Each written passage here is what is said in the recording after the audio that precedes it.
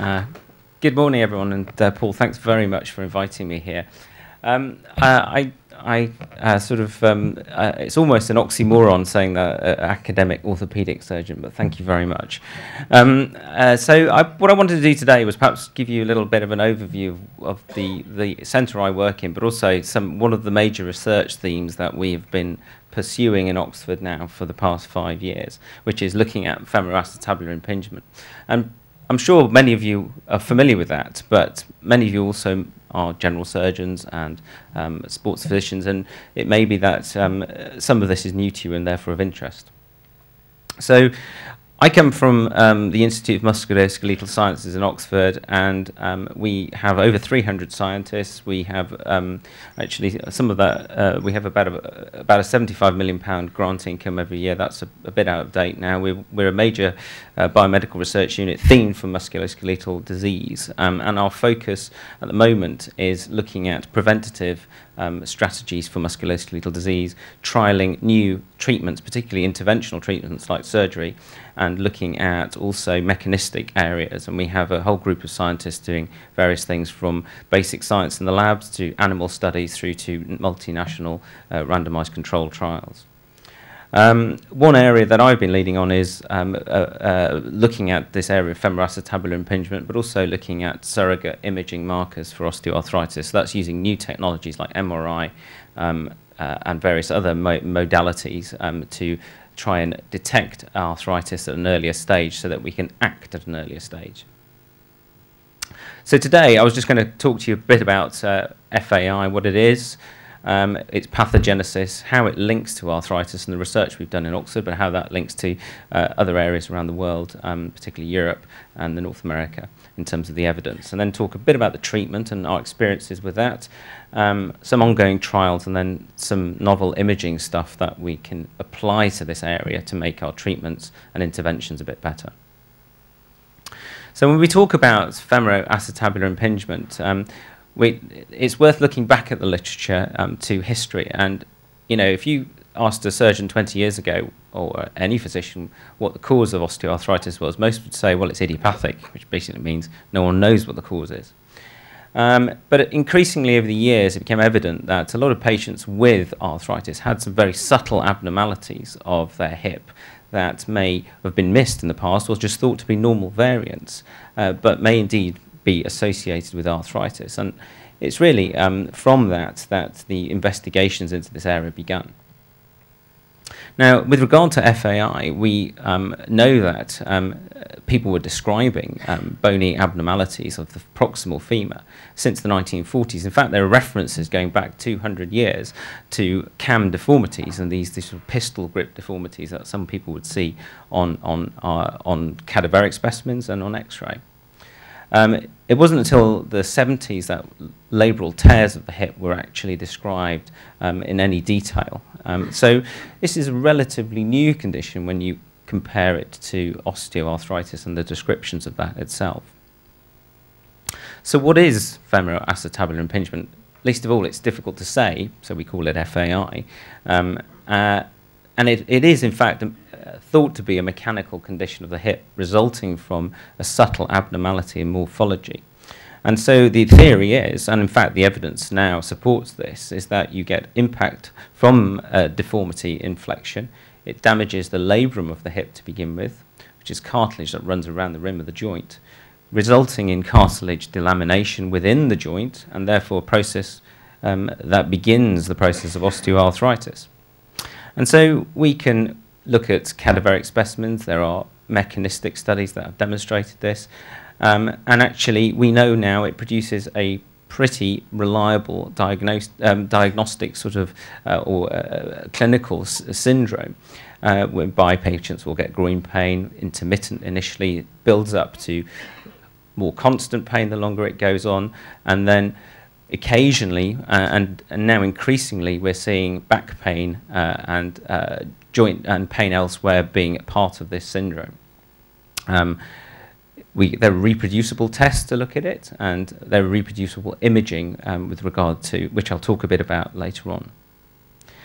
Here is an example of CAM type FAI. You can see Uh, here we have a lateral bump on both the hips. These are very marked, what we call pistol grip deformities. And when we draw a circle around the hip to sort of define where we would very much like the centre of rotation to be, we can see that a large prominence sticks out laterally. There's another type of FAI called pincer, which is because the socket is deep but results in the same problem, where the hip impinges one piece of bone on the other because um, of over coverage rather than a bump. So you can see here the socket's very deep and there's a very narrow piece of bone in between the pelvis and the hip. So what about the pathogenesis? Well, we believe that um, uh, we, we there is oh sorry that was meant to work. It's decided not to but um, you can see here that uh, there's a there's a there's a deformity around the front of the hip and uh, as the hip flexes up you get impingement of the uh, labrum initially which then once that gives way the allows the bump to enter the joint and cause cartilage damage. Um, and what you find at hip arthroscopy, this is a, a, greatly magnified view, is that you have a labral tear, which is this over here, we're looking at the labrum of the hip. You have a, uh, the femoral head here on the right-hand side, and here's the cartilage socket. But initially you get this picture with an area of uh, erythema and inflammation at the free edge of the labrum, which then results in uh, a, a, quite marked uh, delamination of the cartilage uh, at the chondrolabral junction. And indeed, we do see a cascade of, um, of pathology developing over um, many years. On the top left-hand side here, we see early pathology, which we call a carpet lesion or a bubble lesion. You can see that this piece of cartilage here is mobile and has a sort of uh, a space behind it and deforms. This part here is still stuck on. Later on, we'll see full flaps developing, which get worse over time and eventually result in full thickness arthritis. And you see of these this complete spectrum of disorders in patients presenting indeed at the time of surgery. This is not a bad place to be, and people people with this picture seem to have a good result. Down here, the uh, the more advanced the disease, the more unpredictable the result of any treatment. And in fact, uh, these people here are in quite a difficult situation. So, what about the epidemiology of this? So, we've identified a bump how does that actually relate to your future risk of arthritis? Well, there have been a number of cross-sectional studies looking at the um, association uh, or uh, the prevalence of this deformity initially. So we know that uh, in the population in general, um, uh, cam deformities are present in up to a quarter of the population. Uh, the pincer deformities are probably variably reported, and therefore you could take a figure anywhere between 5 and 20, 25%. In fact, some people claim that they are present in a mixed form where you get a bit of cam, a bit of pincer in, in much higher numbers than that. But if you take a figure of around a quarter of all patients or people within the population having some form of hip, subtle hip deformity, that is about the right figure from the cross-sectional studies we have to date. This is a, a scatter plot of the Chingford cohorts uh, in the UK, and it shows that about 50% of um, the people who have a problem on one side will have a problem on the other as well. So it's not un uncommon to have bilateral problems. So what about its distribution? Well, when we first looked at this, and, and, this is relatively new data over the past three or four years, this condition seems to be a, a separate entity. So this is a bimodal plot showing the distribution of alpha angle on the, on the x-axis, which demonstrates um, that indeed we've got a separate population of people here who are distinct from the normal population who have a bump. So this is not a, an, an osteophyte or a separate um, uh, sort of part of a continuum of deformity. It's a distinct population, as you can see on the right-hand side there. And it would seem that an alpha angle of about 65 is where the cutoff between normal and abnormal lie, as far as epidemiological terms are. Uh, uh, are. So does the CAM evolve over time? So when we first started looking at this, people said, well, this is an osteophyte, so it, it, it, it, just happens to be there. So, you know, the, the longer someone um, lives, then the more likely they are to get an osteophyte, and this bump will start growing out the side of the hip. Well, if you look at, um, this is the, again Chingford cohort data, this is 1,000 people over 20 years that we looked at um, using hip x-rays, you can see that um, the distribution of the data at year two and eight are pretty much identical, um, and we've repeated that since for year 20, and you, there is no change in the distribution and the number of people with alpha angles over a 20-year period. And so we can say that this condition doesn't change over time if you, in terms of its morphology, although you do get osteoarthritis. And so we and other groups have looked at the longitudinal association of this condition with osteoarthritis. And this, again, is data from our own cohort um, in the UK, known as the Chingford cohort. And it's the only cohort at the time, when we did this a few years ago, um, that could answer this question. And what we looked at was the probability of a, uh, of a certain alpha angle at baseline giving you arthritis and resulting in hip replacement and pain um, 20 years or 19 years down the line. And if you look at the x-axis here, um, you remember that uh, histogram earlier with a cutoff of about 65, which is where we would regard an abnormal alpha angle starting. You can see that there's an exponential rise thereafter of um, uh, risk or probability of osteoarthritis over 20 years. So on the on the x-axis, you've got the baseline alpha angle. On the y-axis, you've got probability of developing arthritis 20 years down the line. So this condition is strongly associated in asymptomatic patients with future hip replacement and osteoarthritis. And that's highly significant. We looked at the measures of um, uh, DDH and pincer deformity, which are measured by the same um, uh, angle, which is called the lateral center angle. And although this approaches significance, it appears that pincer deformities don't necessarily cause um, uh, uh, arthritis, certainly statistically in the normal population, although there's other strong circumstantial evidence to support this. Dysplasia on the left-hand side obviously does. So what can we say from all this? Well, from our own work, we can say that alpha angle is bimodally distributed, therefore it suggests that FAI is a separate condition, it is a, a distinct pathology, it doesn't progress over time, um, and that with um, every sort of degree or so increase of alpha angle, you have a, a significant increase in your risk of osteoarthritis. From our own studies initially, these were looking at women, but subsequent studies have looked in both sexes and found that that risk is repeated.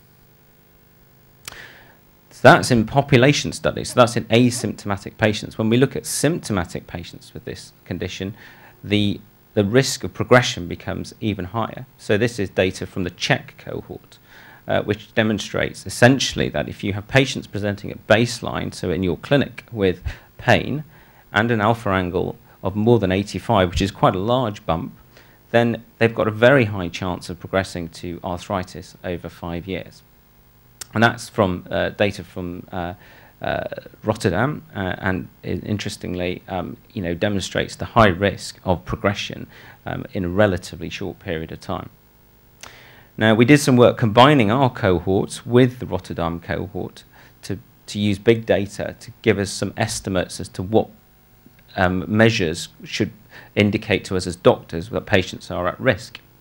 And what we found was that if we combine the cohorts, then your cutoff for alpha angle as being normal versus abnormal is about 60 degrees. And one, an alpha angle that is pretty certain to produce a, a, degree of arthritis or degeneration in the future as um, in terms of risk, there should be about 78 degrees. So we've now got a cutoff for what is regarded as FAI, but also we've got a cutoff which shows which patients with FAI are actually at higher risk. So what about FAI in sports people? We've demonstrated that it's prevalent in the population. We've demonstrated its link to arthritis in both asymptomatic and symptomatic people. What about in sports people? Well, in fact, the problem in sports people seems magnified. Although there's relatively limited evidence at the moment, and it's pretty limited to smaller cohort studies, we found that over the past couple of years, it suggests that in some sports you have about three and a half times prevalence in the population compared to general population. And you can see on the right-hand side here, you've got um, footballers, about 80 to 90% of footballers seem to have a cam deformity. NFL players, it's slightly higher. Ice hockey players seem to be quite high. There's some evidence coming from rowing now, and skiing seems to be lower. But every year there seems to be another sport that people find this um, deformity in this is significant, really, because in the UK, a lot of people, particularly and everywhere elsewhere around the world, play um, play sport, and these, these are the figures for football. Um, uh, about a fifth of the population will play sport football at some point um, uh, during the past week, and therefore you can imagine that, in certainly in children, the, the, the, the, the exposed population is relatively high. So that brings me on to the fourth question that we came up with, and this is a sort of process that kind of gone from identifying the problem initially and understanding it to understanding how it develops. And so we asked ourselves the question of how this condition develops, and, and uh, to do that, we've been we've set up a study called the femoral acetabular impingement uh, study in in footballers, and what we did was um, a two-phase study looking at a prospective cohort of sports people versus normal controls.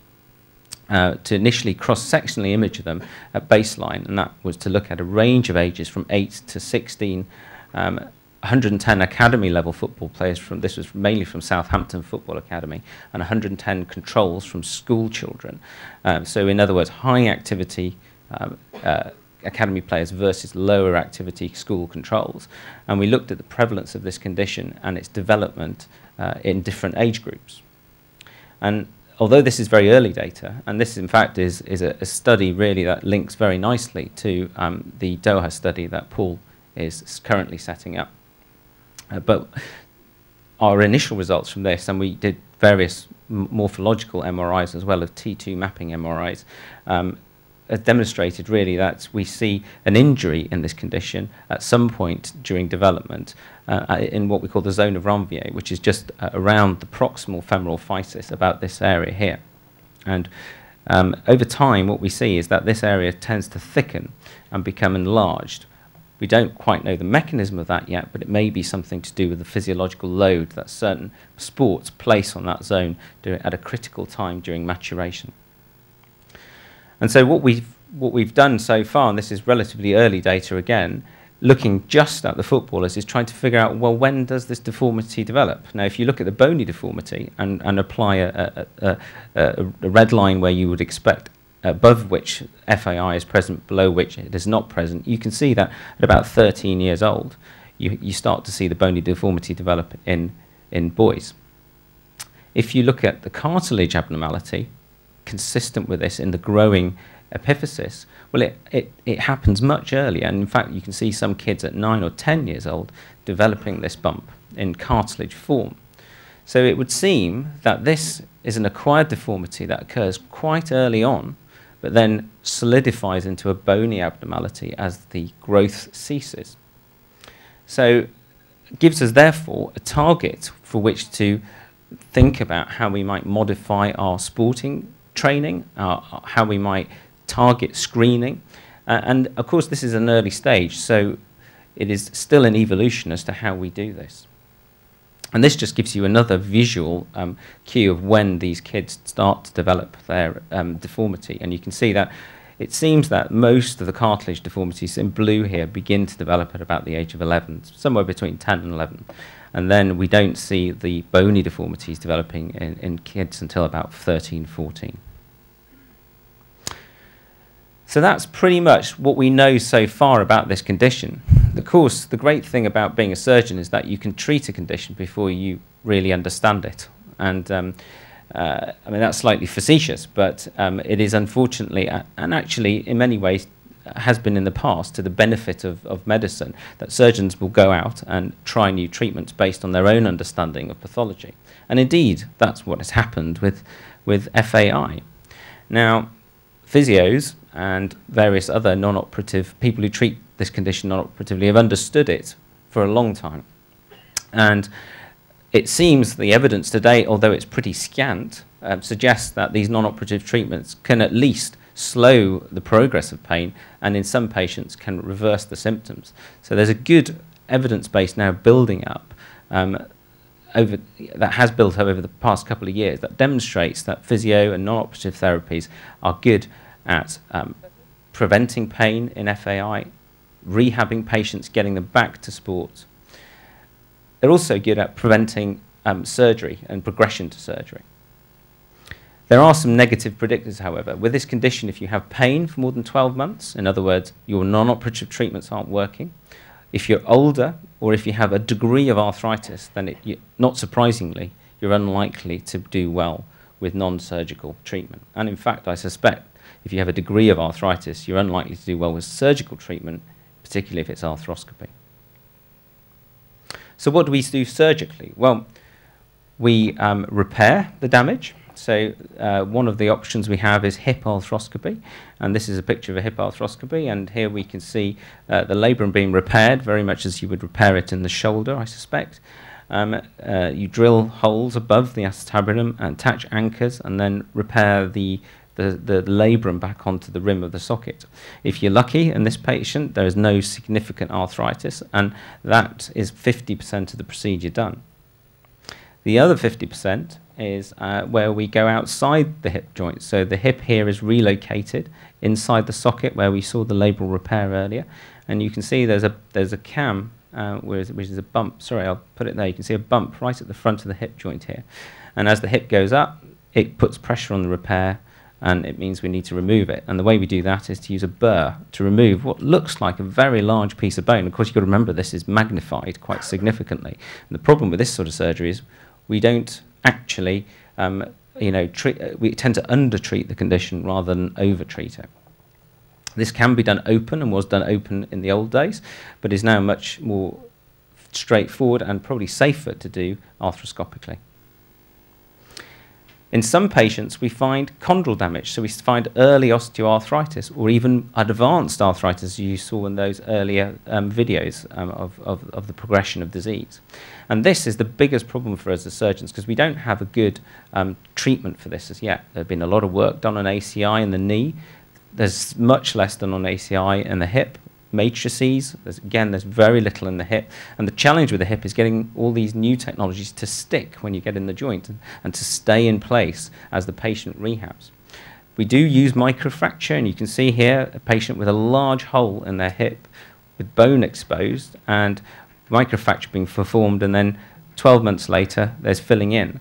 So there's obviously some capacity to heal in some patients, but we see a rather unpredictable response to um, surgery in, in, this situation. So some patients will fill this with cartilage, others won't, and will get, end up needing a hip replacement. We're trying all sorts of new technologies. We try gluing bits of cartilage back on. Not sure that's particularly effective. We try stem cell therapy and matrices. This is a picture of a matrix in the hip that, that someone has glued in and then injects a stem cell um, uh, enriched bone marrow concentrate beneath it. And there's a lot of work, uh, and we're currently running a trial on this in Oxford uh, as to see whether we can make a difference to patients with this more advanced stage disease.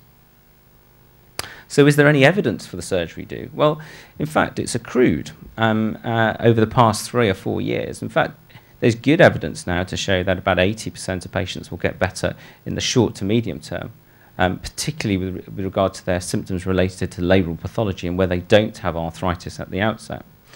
But of course, we're restricted in that we don't have good level one evidence. And the big benefit of this, this surgery is the potential to modify the progress of the disease and to prevent arthritis in the future. And we don't have evidence for that at the moment which is why in Oxford and in, in two other trials around the world are currently being conducted to, um, to look at this in great detail. So to look at the efficacy of the surgery, but also to look at its long-term effect on disease progression and the need for hip replacement. In Oxford, we're conducting this study called FAIT. Um, it's a double, um, it's a sorry, it's a parallel two-arm randomized control trial of 210 patients. Uh, we're running it in parallel with two other uh, trials internationally, and we've captured about half of all the surgery done uh, in the UK, or the surgeons in the UK that are doing this procedure. And it gives us, it's going to give us short-term measures of outcome at eight months, um, and 10 months, and we'll also give a longer term measure outcome looking at the cartilage degradation using um, new scanning technology like T2 mapping and T1 rho mapping. In fact, I was looking at your scanner here yesterday, and you've already got one of those sequences installed and functioning uh, for knees on your scanner. Our provisional results suggest that in the, in the group of patients that we're selecting for surgery, which are quite broad, that the arthroscopy seems, they seem to be responding to arthroscopy as the cohort study suggests at the 12-month stage. So these are the initial results of about half our cohort um, uh, 12 months down the line. But the future, of course, is, is not necessarily what to do with these patients because we seem to be getting reasonably reliable response to surgery from that group of patients. Our issue, of course, is what we do with osteoarthritis because Um, it tends to be focal, sorry, and it tends to develop slowly. And you can see here that it, this is the stage at which we would like to treat disease with a tear in the labrum, with a, a small mobile area of cartilage that's just beginning to delaminate, not the, the much later disease that we often find at surgery, despite uh, normal looking MRI findings. And really, it's about the big focus for us as a research team has been to try and develop new surrogate measures of imaging to, to, to uh, accurately predict the amount of cartilage damage in the joint. I mean, amazingly, there's very little um, research and scanning um, uh, technology on this. Uh, certainly, there was four years ago. That has progressed quite nicely over the past two years.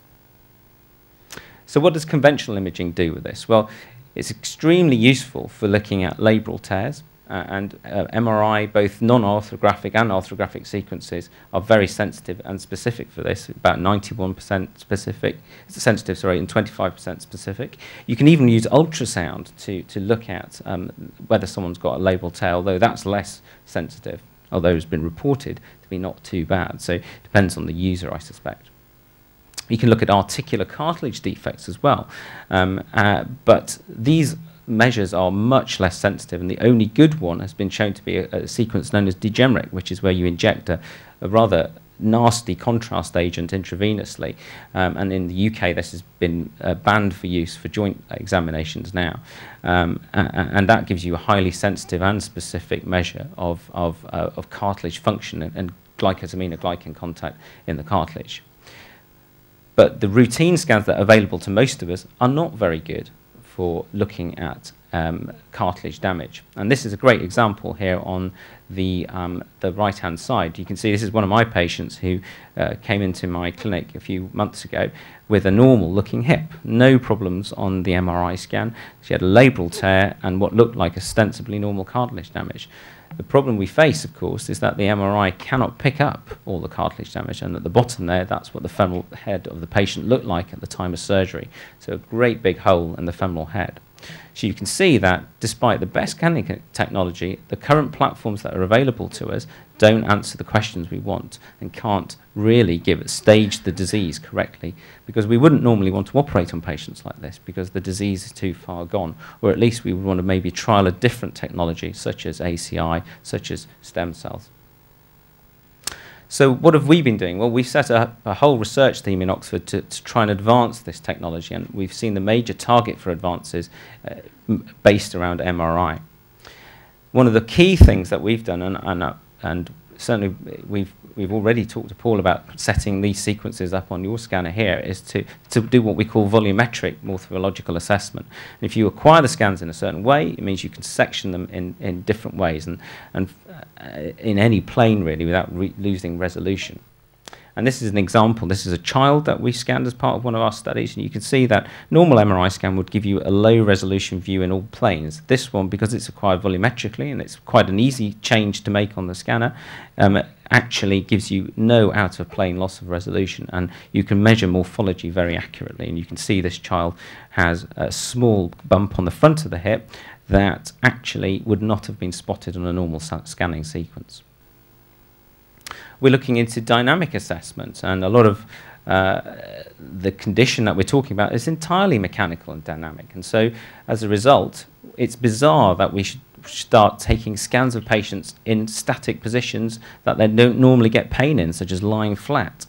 Uh, and we can now take a CT scan or an MRI and articulate that in a, in a computer modeled environment to predict which bits of bone are impinging on other bits. And so this is a system that you can send your CTs or MRIs to the Netherlands to, and they will reconstruct the hip in um, in 3D in different positions. If you say I've got a hurdler, you, they'll put it in a hurdling position. If you say I've got a, a 100 you know 100 meter sprinter, they'll they'll mod, model it going off the starting block. And so they'll do any any any kind of sport that you need for that particular reconstruction. And they'll tell you which bits of bone need to be removed and where the impact, impingement is occurring. Because bizarrely, some people will impinge around the back here, as others, most will impinge around the front. And it depends on your sport. Kickboxers will tend to impinge around the back and the side, whereas um, rowers will be impinging around the front.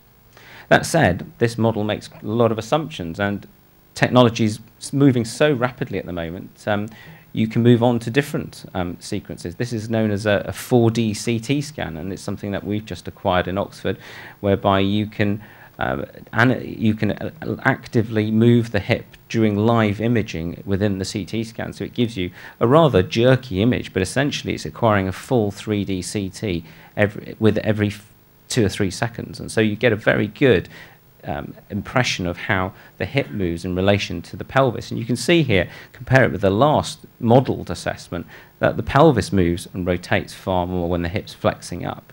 And, and so we are making some quite significant assumptions and missing quite a lot of the dynamic nature when we use computer models. So this is a further advance of scanning technology. And we found this very useful in athletes in understanding more about the pathology itself.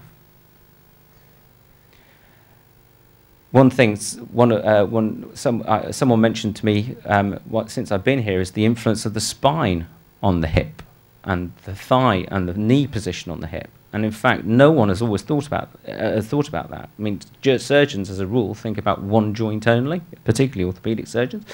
Um, now we realise that actually the back has a huge effect on the hip, and this, these are um, dynamic studies done on patients doing sitting, standing, and stepping up activities.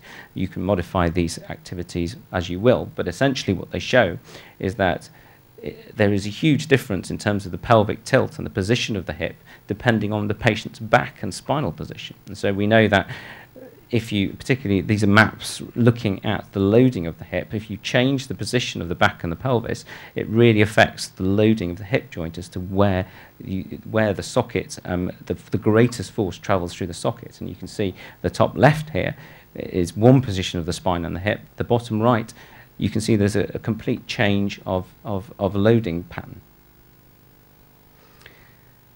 one of the mo most exciting areas, I suspect, for us and, and for, uh, for, for imaging patients with early disease and specifically for sports people and tracking response over time is the use of what we call quantitative imaging techniques. Now, we've already mentioned dGEMRIC, which is, a, is a, a what we call a, a, a, sort of invasive but quanti quantitative MRI technique for looking at GAG in cartilage there are new and, and very exciting um, sequences that are coming out. Some of them are CT based, but many of them are MRI based. These are examples of um, sodium mapping. They're not very good resolution. Here we have uh, T2 mapping um, and combination mapping on the right hand side here, which shows in great detail the functional qualities of the cartilage. So on the left hand side, you can see structure of the hip. On the right-hand side, you can see areas where the cartilage is damaged in the patient at the bottom uh, and less so on the patient at the top. So this will give you very early indicators as to potentially someone's um, the damage that may be accruing in someone's hip even before they begin to develop symptoms. It may be important in the future for screening athletes. So in Oxford, we've been taking this a further step and developed some other sequences. This is called chemical exchange saturation transfer. And the bottom there, this is a scan acquired at 19 Tesla uh, in, a, in a small scanner. So this is um, a small bore scanner.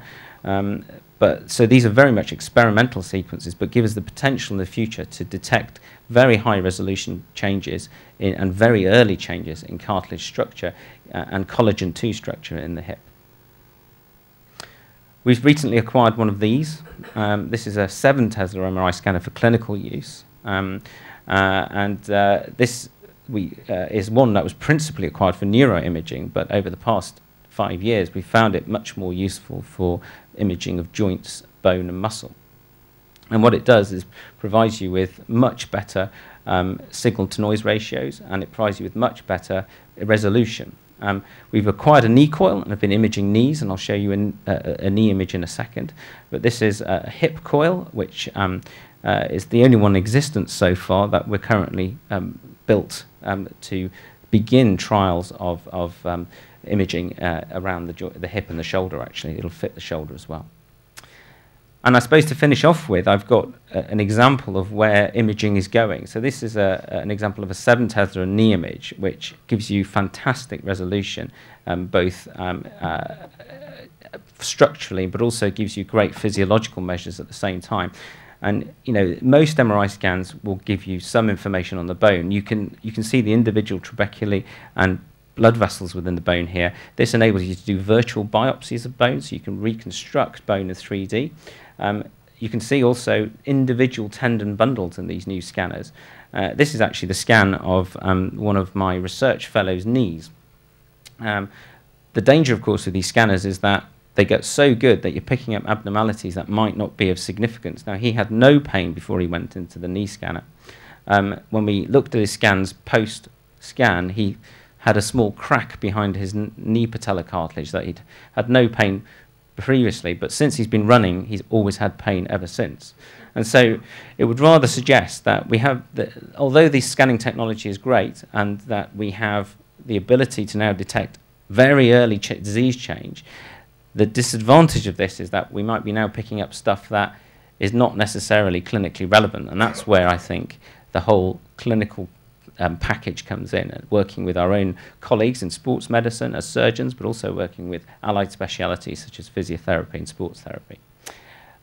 I hope that wasn't too much for you, and I hope I haven't gone over time. But just to say, thank you very much for inviting me.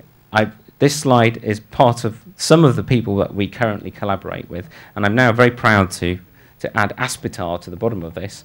Um, uh, and I look forward to involving you and, uh, well, particularly Paul, in the Centre for Sports Exercise and Osteoarthritis in Oxford. Thank you very much.